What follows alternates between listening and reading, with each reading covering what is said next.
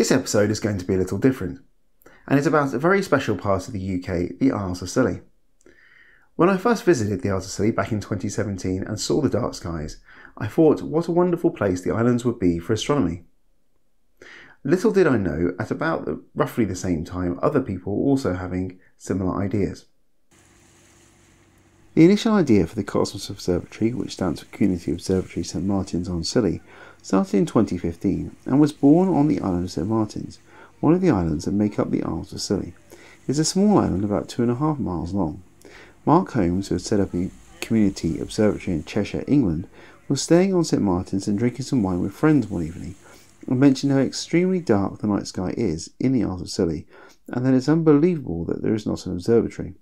After this comment, this group of friends decided to start the process of making the observatory a reality. So, to get anything done on St Martin's, which has a full time population of about 130 people, requires a committee. About seven people joined the committee, meaning quite a high percentage of the population was actually involved in setting up the observatory. When there was found to be sufficient level of interest, a whole series of funding exercises on the islands raised about £25,000. The team behind Cosmos then applied for a substantial grant of about £65,000 from the European Agricultural Fund for rural development. One of the reasons for this funding is that the astronomy season in the UK is from September to April, so the observatory had the potential to bring in tourists outside of the normal tourist season. It was decided to build the observatory on the field behind the community hall. The first task was to lay a concrete base to stop any vibrations being passed to the telescope. However, because the observatory is on a remote island, the transportation costs for the concrete was more than the cost of the concrete itself. Then, in the winter, the domes arrived, and by the end of 2018, the observatory was ready. During the first year before the pandemic hit in 2019, 800 visitors visited the observatory, which indicated that the observatory had a great future ahead of it. But why put an observatory on St Martin's? There are some great reasons to have an observatory on St Martin's apart from the dark skies. One of them is that being on an island, there is a clear horizon all the way round. This is useful because, as every astronomer knows, there is often astronomical targets low on the horizon. The other is that the stars do not twinkle, or when they do twinkle, uh, they twinkle a lot less on the Isles of Scilly. This is because, being in the middle of the sea, there is not the landmass cooling down at night and releasing hot air into the sky, which causes the air to shimmer. Because of this, you get a much better view of the night sky. The Isles of Scilly actually have the darkest skies in England, Unfortunately, this is not the Dark Sky Reserve, even though the island council is forward thinking and has restricted what lights can be used on the island.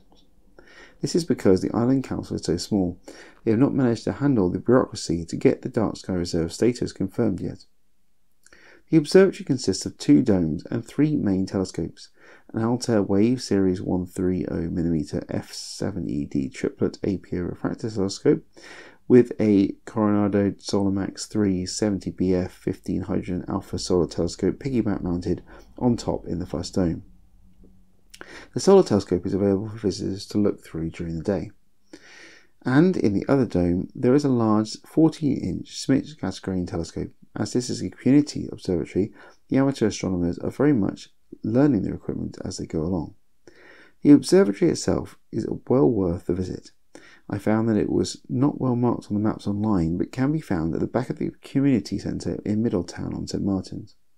Another good idea for any potential visitor is that the transport links from the other islands, especially the main island St Mary's, which most people stay on, is very limited after dark. In fact, if you intend to visit the observatory at night, it is advisable to stay on St Martin's itself. I stayed on the island of St Mary's and had to get a speedboat back at 9.30pm, which was the latest they would do.